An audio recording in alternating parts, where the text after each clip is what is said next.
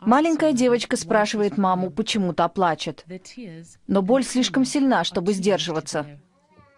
Я сначала не говорила. Батюшка этот приезжал, я с ним посоветовалась, поговорила, как рассказать правильнее ребенку о том, что папа погиб. Вдова и ее осиротевшая дочь – новые жертвы насилия, охватившего Славянск. До того, как произошла трагедия, Ирина и Павел были женаты всего четыре года. Обычно мы ночью созванивались, когда он там был на блокпостах. А это он не взял трубку. Рано утром встала, ну, детки встали, как обычный завтрак, как все. И пришли ко мне мои знакомые, Татьяна со своим мужем. И два его казака, которые были в его подразделении. Пришли, ну, и, и мне рассказали. Конечно, было сначала тяжело, я сама не верила.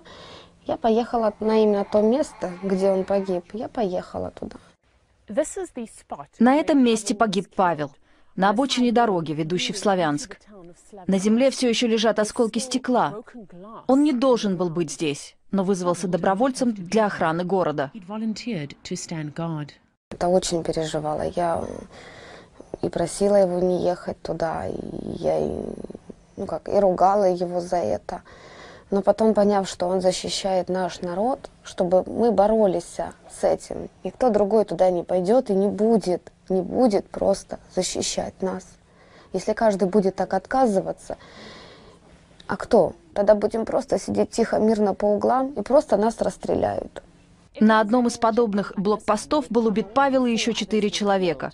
К ним подъехал автомобиль, из которого был открыт огонь. Павел и двое его соратников скончались еще до прибытия подкрепления. Все они были жителями Славянска. Церемония прощания с погибшими прошла в церкви. Жители Славянска пришли на похороны, чтобы проводить защитников города в последний путь. Но вскоре скорбь переросла в гнев.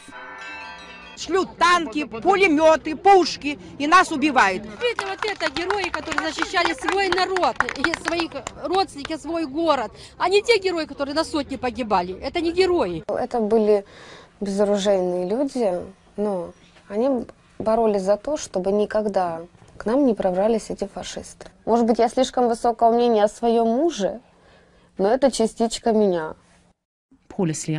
Полислир, РТ, Славянск, Восточная Украина.